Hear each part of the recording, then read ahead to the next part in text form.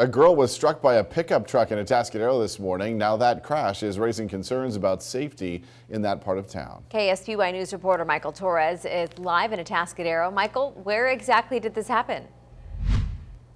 Originally, Karina, the accident happened on the corner of El Camino Real and East Mall. The 12-year-old girl was walking across around 8 this morning, typically a busy time for the area with school starting just right down the street.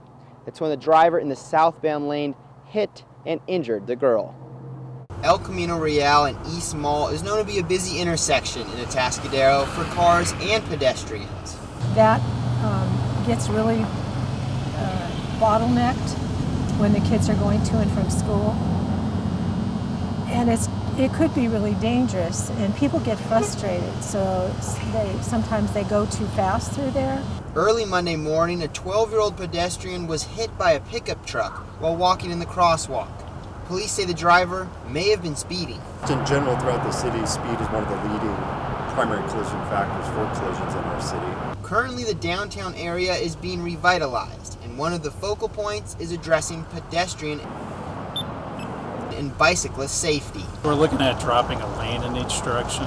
So right now it's a five-lane configuration with a center turn lane and the fifth lane and um, having that uh, drop down to two lanes will actually be uh, less lanes of traffic to cross.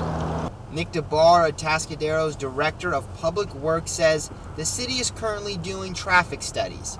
This will determine if the 25 mile per hour speed limit on El Camino Real is reduced. Atascadero resident Patricia McCrae Whaler hopes changes are made to make it safer for those walking on the streets sooner rather than later.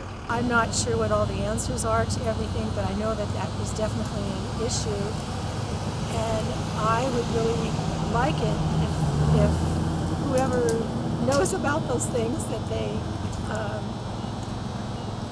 fix it.